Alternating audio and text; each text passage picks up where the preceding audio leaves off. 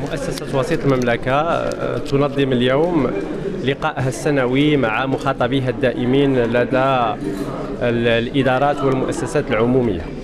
وهذا اللقاء هو مناسبة باش ندرسوا أولا التطور الحاصل في علاقة الإدارة بالمرتفق وهو ثانيا مناسبة لتقييم هذه العلاقة ومدى انسيابيتها ثم هو أيضا مناسبة لاستعراض خلاصات التقرير السنوي الذي تم رفعه إلى جلالة الملك آه، نصره الله.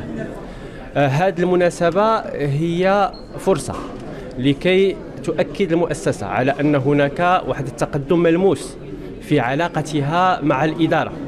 وهذا التقدم يظهر أساسا من عدد الملفات والقضايا التي تمت تسويتها بحيث استطعنا نسويو 1176 قضية دون اللجوء إلى توصيات. هذا التقدم أيضا كيظهر من خلال عدد التوصيات التي تم تنفيذها. النسبة ديال التنفيذ هذه السنة كنسبة سنوية وصلت 120% وهذا كيعني أننا نفذنا توصيات من التوصيات المتراكمة. لكن كنأكد بأن هذا الأمر وهذا التقدم ليس كافيا. ولا زال ينتظرنا الكثير لأن الهدف هو مأسسة علاقة الإدارة بالمواطن ومأسسة علاقة الإدارة بمؤسسة الوسيط من أجل انسيابية يتمتع فيها المواطن بعدالة الارتفاق العمومي يتمتع فيها المواطن بكل حقوقه. لأن الانتظارات وتطلعات المواطنين كتتطور والإدارة يجب عليها أن تطور آليات تدخلها من أجل إرساء ما نسميه الآن بالنموذج الارتفاقي الجديد.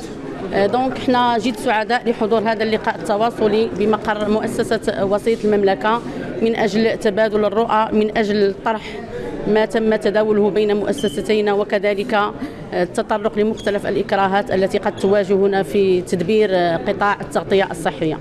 دونك إحنا تنحضروا لهذا اللقاء هو لقاء تواصلي اللي غيتم فيه التداول يعني حول ما تم تداوله من شكايات وتظلمات المنخرطين يعني بالنسبة للتعاضد العامة المرتفقين برسم سنة 2021 ونعتبره هو فرصة كذلك لطرح مختلف الإكراهات التي تواجهنا في التغطية الصحية الإجبارية.